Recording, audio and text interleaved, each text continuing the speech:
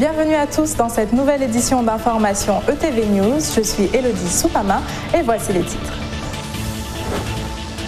Les voitures électriques, un secteur dynamisé par les professionnels en Guadeloupe. Un hommage aux femmes de la liberté, nous nous sommes rendus à une exposition sur les vêtements d'esclaves à Petitbourg. 40 ans de Cassave, nous avons rencontré Jocelyne Béroir à la veille d'un concert d'exception. Un mot suite à l'agression de deux agents du centre pénitentiaire de Fonsarail par un détenu. Ce dernier, encore hospitalisé, pourrait être mis en examen pour tentative d'assassinat sur personne dépositaire de l'autorité publique et se voir condamné à perpétuité.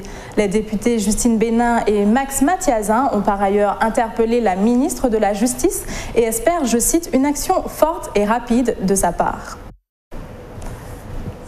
Après leur lancement en Guadeloupe, les véhicules électriques ont le vent en poupe et les professionnels sont de plus en plus nombreux à faire ce choix.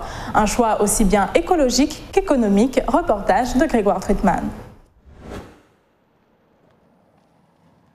Les voitures électriques séduisent les Guadeloupéens, à commencer par les professionnels. Ce loueur a acquis une vingtaine de véhicules depuis deux ans, et pour lui, les avantages ne sont pas négligeables. La solution électrique présente de véritables économies, hein. pas d'entretien de bougies, pas d'entretien d'huile, euh, pas d'entretien sur les plaquettes de frein, qui nous permet de préparer très rapidement nos véhicules et de les mettre à la disposition de nos clients avec une fiabilité qui défie finalement euh, tout ce qui est gamme diesel et, euh, et sans plomb classique. Un avantage pour le loueur, mais aussi pour le client, car fini les pleins d'essence et les dépenses pour les recharges sont très faibles. C'est ce qui a poussé certaines collectivités à passer le pas la ville de Sainte-Anne transforme peu à peu sa flotte de véhicules et produit elle-même l'électricité pour les alimenter. Concernant euh, les véhicules électriques, nous avons fait l'acquisition de deux. Chaque année, nous allons faire l'acquisition euh, au moins de deux pour que nous ayons une flotte décarbonée. Et là aussi, évidemment, c'est une lutte contre euh, le CO2, mais c'est moins euh, de charges en matière d'essence, c'est moins de charges en matière d'entretien. Donc là aussi, ça va nous permettre d'avoir une économie substantielle. Un type de véhicule particulièrement adapté à notre archipel. Son autonomie va jusqu'à 300 km, quand notre distance moyenne parcourue en une journée ne dépasse pas les 50 km.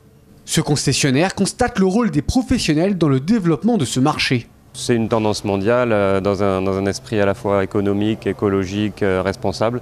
Il y a les collectivités qui, sont des, clients potentiels importants et qui, pour certaines d'entre elles, ont déjà passé le pas de se mettre à l'électrique parce qu'elles sont très incitées finalement par, euh, par, l'État à, passer leur parc de véhicules à l'électrique.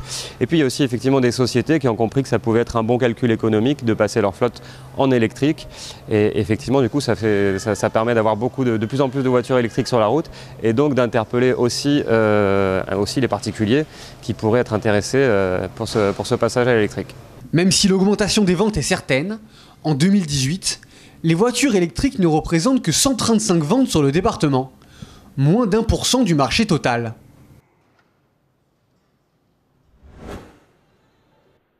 À l'occasion de la commémoration de l'abolition de l'esclavage en Guadeloupe, la ville de Petitbourg organise tout ce week-end une exposition et des manifestations en hommage aux femmes de la liberté. Reportage de Marius Mathieu. En Guadeloupe, le jour de l'abolition de l'esclavage est un jour férié observé tous les 27 mai.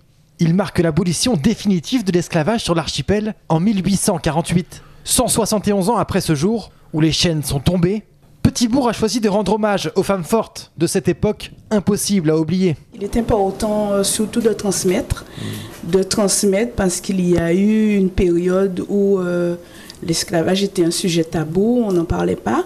Mais je pense qu'il faut euh, transmettre aux générations qui arrivent et puis faire connaître aussi hein, c'est aussi notre histoire. Hein. Je pense qu'il faut euh, qu'on connaisse ces lieux de mémoire, qu'on puisse savoir ce qui s'est passé, quand est-ce que ça s'est passé. Savoir ce qu'il s'est passé en s'imprégnant des us et coutumes de l'époque. Là, dans cette pièce, vous avez des tenues qui euh, reflètent ce qu'ont porté nos ancêtres. La tenue de l'esclave, une tenue euh, ordinaire, hein, une robe toit trop, maintenue à la taille par un triangle de toile plié en deux noué euh, de, foulard en coton ordinaire Et cette tenue devait durer un an à la femme esclave. La tenue euh, de la native libre et la tenue de la franchie. Et à ce moment-là, au moment de la native libre et de la franchie, ont, été éditées des lois qui ont interdit le port du chapeau aux femmes de couleur. Euh, parce qu'effectivement, elles étaient tellement belles, tellement arrogantes, qu'elles suscitaient la jalousie de leur maîtresse. C'est ainsi qu'est née la coiffe créole. L'hommage aux femmes de la liberté, c'est tout le week-end et jusqu'à lundi, un rendez-vous culturel pour tous afin de ne jamais oublier cette période sombre pour les Guadeloupéens.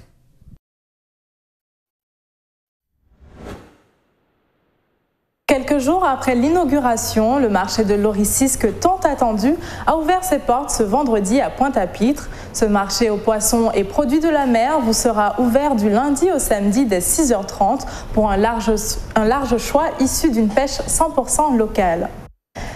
Cassav fête ses 40 ans cette année, l'occasion de célébrer ce groupe mythique en Guadeloupe.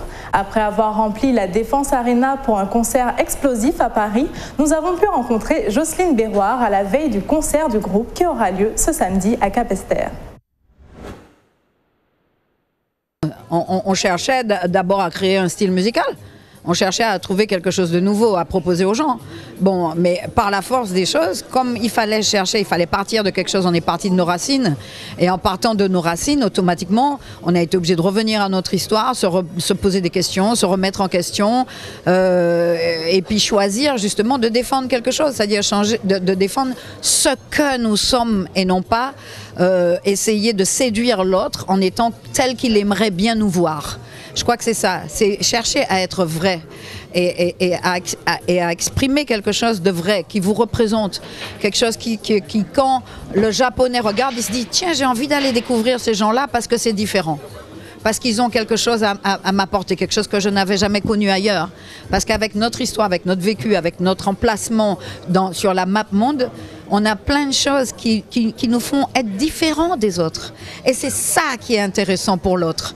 C'est pas ressembler à l'américain, c'est pas ressembler au jamaïcain, c'est être nous. On vient d'où? On vient de là.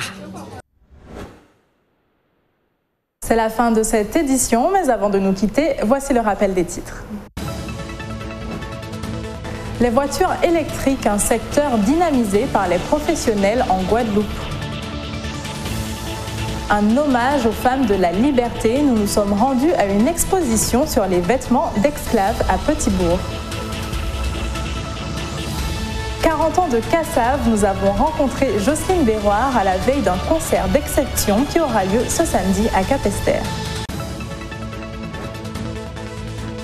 Merci à tous de nous avoir suivis. Dès demain, retrouvez Christine Kelly pour votre édition du ETV Newsweek.